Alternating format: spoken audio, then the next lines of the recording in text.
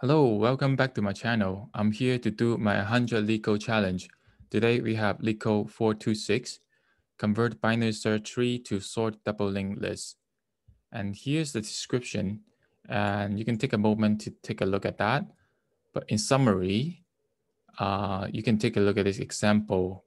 So now this is the binary search tree, and we invert this one to uh, double linked list looks like this and it's in sorted order. So what is binary search tree? So binary search tree is when you see this node and everything on the left side is smaller than the middle node and the right side is bigger than a middle node. So you can see here, two is bigger than two, smaller than three, and everything on the left side is smaller than four. So five is bigger than four. The order in here is always go to left side and then go to middle and go to right side. So now the left side is done and go back to the middle node, which is four and go to the right side and five. Then that's the order of the binary search tree. So um, in here is the node. Uh, we have a head. It's a, one of the hint that we're gonna use we will start with using the head and also a previous number pointing to the head. And we will have a helper function uh, that connect, uh, go all the way to the left side first. And receive one is the one that we're gonna process and we connect it to the previous number. And after connect and previous number will be one, we update it. And then we go to the middle and connect to the previous one, which is one. And after that connection, we update this one to be, become previous. And we do the same thing on the right side. So we always updated the previous number until we get to the last node. So let's take a look at that code first in up to here. So we will need a node called previous equal to uh, no, we just have it for no first. Um, we'll keep track if root is no. Then return no. So now we have this one. So we have to create a head. Call head equal to new node and that taking the zero and left and right will be no. So we have this and we have previous equal to head. Now periods is this node right now. We keep we use head to make a pointer and we're gonna use it uh, at the end of the question. So we just update previous as a pointer. So previous pointing to the head. And what we can do is use a helper function and process the root because we are gonna loop through this root and get to the left point pointer, the most left pointer, and then go to the in order traversal for this node and we have something later. So let's take a look at the helper function.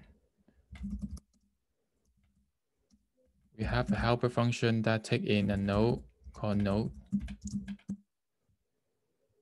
Also, we check if nodes equal to um no, then we don't do anything that we turn.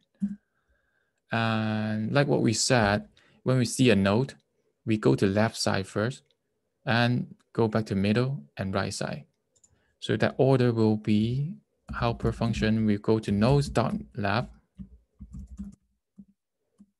and then helper function node dot right at the end.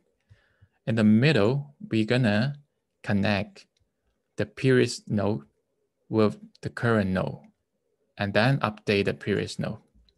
So what it does is the previous, oh, previous node dot right equal to no. And no dot left equal to periods. So then they connected. So after they connected, then we can update the periods equal to no. So this is what the helper function is doing. Um, so after the helper function, so up to here, we can draw the map like this. Now we have a head, and what we do is make a zero. The head will look like this, and also the periods right here. I make a head here, and P is called periods, periods node. So they have left node and right node.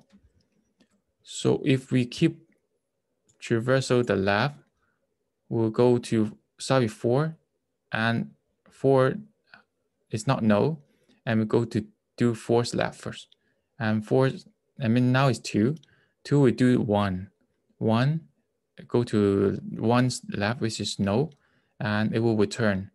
After the return, then we start to the middle one, which is one. When it's one, we have connected one to the previous node here. So in here, the previous node's right side will point to one. And then one will point it back to previous number. And then after that, we update the periods to become one. Now one is periods. And then after one is processed, go to the right side. Right side have nothing, then left side got finished. So when left side is finished, we go to middle, which is two. And now we see periods is two, we connected to two, two back to one, and we update it. So I just run through this code with you. And we go to the right side, which is here. And it will look like this. We keep connecting and we're back to middle. Four, four point is three. And then after everything is done, we go to the right side. We have five and point it back to four. But we're missing one thing, just because in five, we only have left side, but it doesn't have right side, right? You can see you need to connect five right side to one. That's one thing. And then one is connected to the wrong left side. It should connect one to five. One's left supposed to be five. So this zero is just a template that we're gonna change. So what can we do now? So now we have all this connected with the hat right here. Let's go back to the code. Okay, now I can type. So now we know hat is connected like this in this order we can see if periods, which is pointing to five right now, dot right is equal to head dot right. Now you see head is zero, right? Head dot right is one. So we connected five periods to head dot right is one. So now we connected. I can draw again. So now we connect to here. That looks good, but we need to connect one back to five.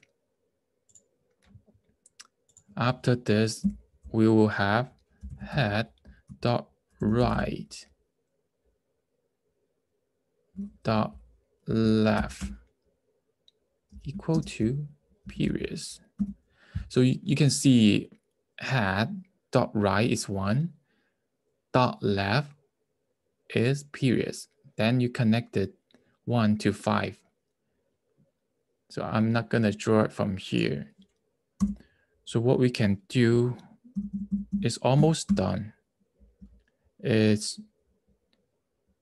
return head dot right, which is one right here. Let's take a look at this.